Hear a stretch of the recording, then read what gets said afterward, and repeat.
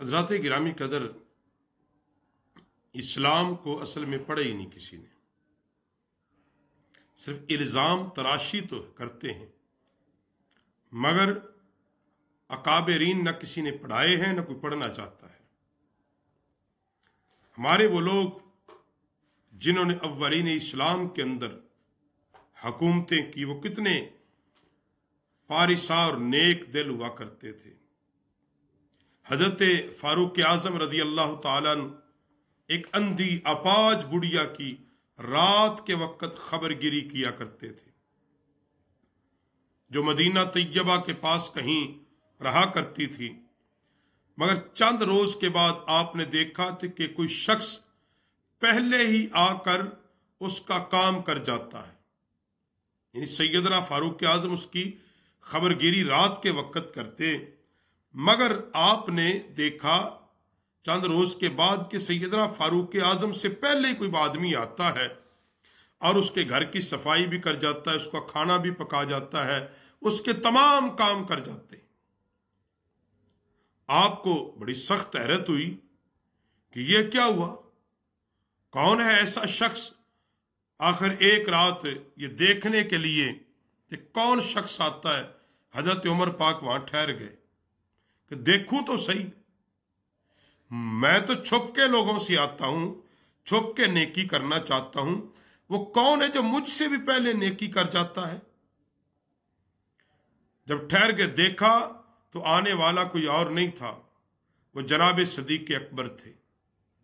हज़रत फरूक आज़म ने फरमाया, भला सिवाय आपके और कौन ऐसा हो सकता है? और हज़रत अबू बकर सदीक जब खलीफा मुंतखब हुए ना आपको खिलाफत मिली, वक़्त के खलीफा बने। आप जब सुबह उठ, उठे तो तिजारत के लिए कपड़ा लेकर बाज़ार की तरफ़ रवाना हो गए। कपड़ा बेचने के लिए। रास्ते में हज़रत उमर और हज़रत अबू उबैदा मिले और दरियाफ्त करने लगे अः अल्लाह के रसूल के खलीफा, कहाँ जा रहे हो? किधर का इरादा है? अब वक़्त के खलीफा हो। हज़रत अबू बकर पाक ने फरमाया कि बाज़ार जा रहा हूँ। उन दोनों ने फरमाया कि दरबार खिलाफत के मामलात कौन देखेगा? वहाँ जो लोग शिकायतें लेके आएँगे, उनकी कौन सुनेगा? तुझे नहीं पता तो वक़्त का अमीर उलमोमिन है? कहा, पता है। पता है।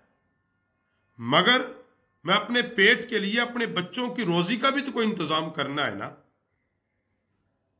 तो सैदना उमर पाक ने फरमाया कि तुम जाओ मसरद खिलाफत पर बैठो, हम कुछ करते हैं। आपस में सियाबा ने मशवरा किया, तमाम मुसलमानों ने मशवरा किया और कहा कि हम आपके लिए तनख्वाह मुतन करते हैं बैतुलमाल से। और सैदना अबू बकर सद्दीक ने कितनी तनख्वाह मुतन करवाई? जितनी एक आम मजदूर की तनख्वाह थी। उतनी उजरत, जितनी एक आम मजदूर की जब लोगों ने पूछा, हुजूर, अगर आपका गुजारा ना हुआ तो कहा फिर मजदूर की तनख्वाह बढ़ाऊँगा ना? अगर मेरा नहीं होता तो फिर इसका मतलब उस मजदूर का भी नहीं होता। हज़रत उमर पाक के जमाने खिलाफत के अंदर यमन से कुछ चादरें आ गई। बड़ी खूबसूरत चादरें।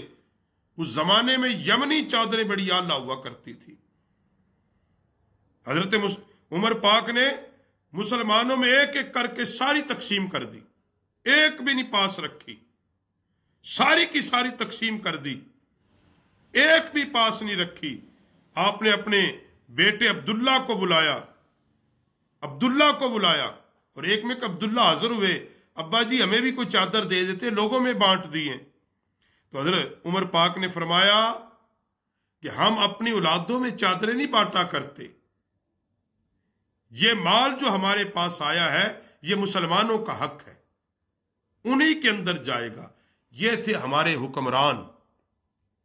ये थे हमारे खुलाफाए राशिदीन।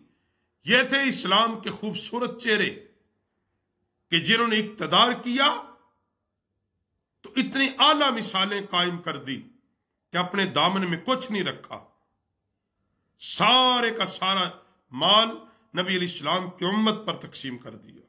लोगों पर तकसीम किया तो इस्लाम ऐसी हुक्मरानी की असल में बात करता है। इस्लाम ऐसी तर्ज हुक्मरानी माँगता है। इसके बगैर इस्लाम नाफिज नहीं हो सकता। इस्लाम का निफाज अगर चाहते हो तो फिर एक ही तरीका है। वो तरीका ये है कि हम सारे इस बात पर जमा हो जाएँ कि हमें इस्लाम के अंदर खिलाफत की तरफ़ जाना होगा और वो काम करने होंगे जो नबी सलाम के जमाना ज़ाहरी के बाद खुलाफा राशिदीन ने किए